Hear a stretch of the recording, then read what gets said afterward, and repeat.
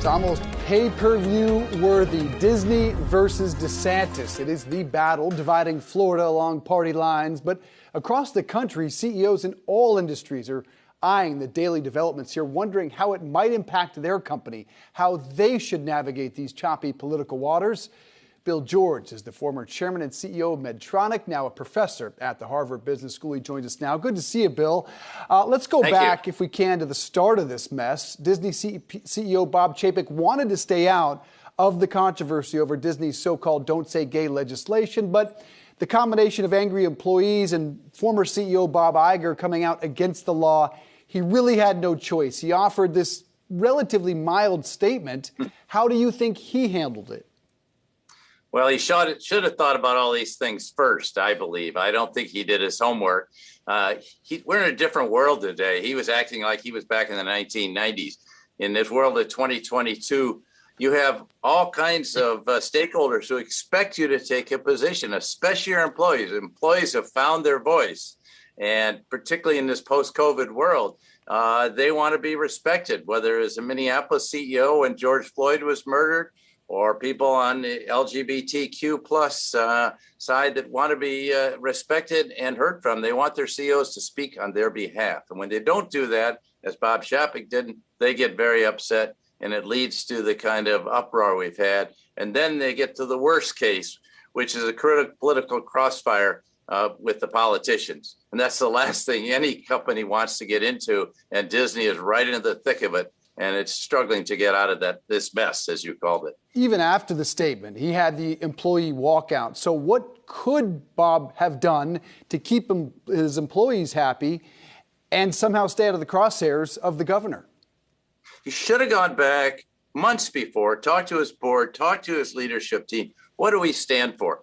Disney has always been very pro family, but also very uh, gay friendly, if you will, and they should have made those points uh, very clearly. And when this legislation started in Florida, they should have had a position ready to go. And uh, they didn't have to lead with their chin, but they should have had a position that was true to their mission and values of what Disney is, that accepts everyone for who they are. So, as I mentioned, CEOs across the country are shaking a bit in their boots. What are you hearing from them, and what's your advice? Well, they're very concerned.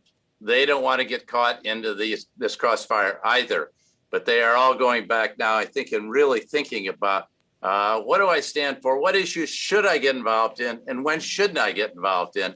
Uh, and how do I avoid getting in the crosshairs of some politician? They may get caught anyway, but if they're true to their mission and values, this is a question of should I get out of uh, Russia because of the Ukraine war? Uh, these things are coming up every way right now, and CEOs today need to know how to lead through a crisis because we go from one crisis next we go to, from covid to george floyd to russia and ukraine and there'll probably another one just around the corner. So they need to be prepared to deal with these and have a position that's true to their company. For instance uh, johnson and johnson uh, has taken a very clear position that we're there to help people and so if that means we're going to stay in russia we don't we have life-saving drugs we don't want to get out. Hey i respect that position. It goes to their credo that's what each CEO should do to go true back to their mission and values. A fascinating poll came out last week showing the majority of the country is against the government punishing business over their political beliefs. But the, the fascinating part within this is Democrats were far more supportive of business than were Republicans. What do you make of that political dynamic we have today?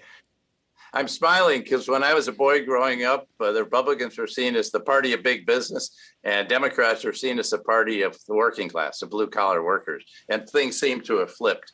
And uh, we're much more into cultural wars. Businesses are not interested in that. They're interested in helping their customers uh, make a difference in their lives. Whether Disney is bringing fun to people, or uh, organizations in the apparel business bringing joy to them, or Medtronic uh, providing good health care to help save lives. That's what they want to do. But they need to represent all their employees and all their stakeholders. And I think that's what they've lost sight of here. What's fascinating is I read this statement and I want you to guess what party it comes from. A senator. It's very simple.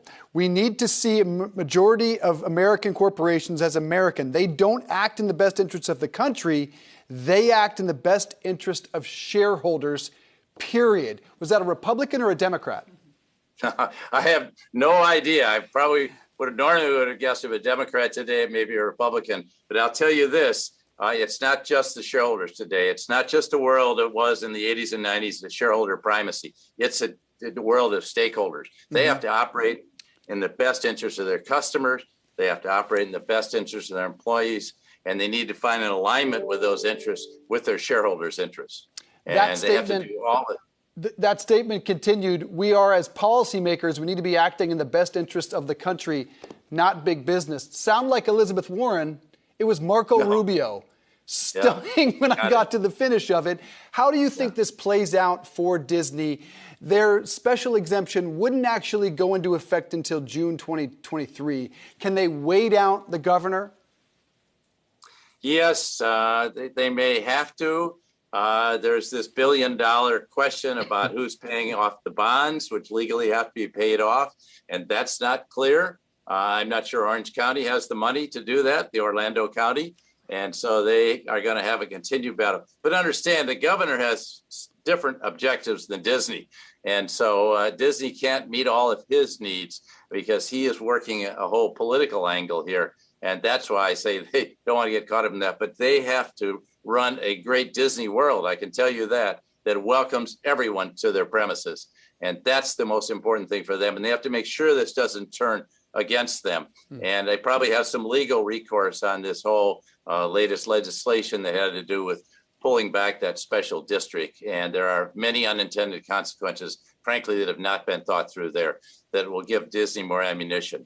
A good example is Ed Bastian at Delta a few years ago. The Georgia legislature withdrew a 41 billion, a million dollar uh, tax uh, break that they got on a fuel savings. They've been giving it for 30, 40 years.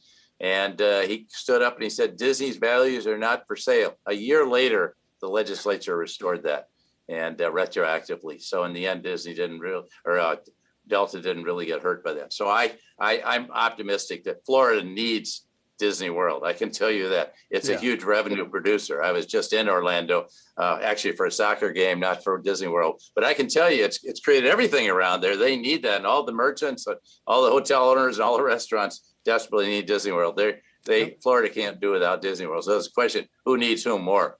70,000 plus jobs as well. Uh, Bill George, exactly. Harvard professor, former chairman and CEO of Medtronic. It is tricky times to be a CEO. Thank you, Bill.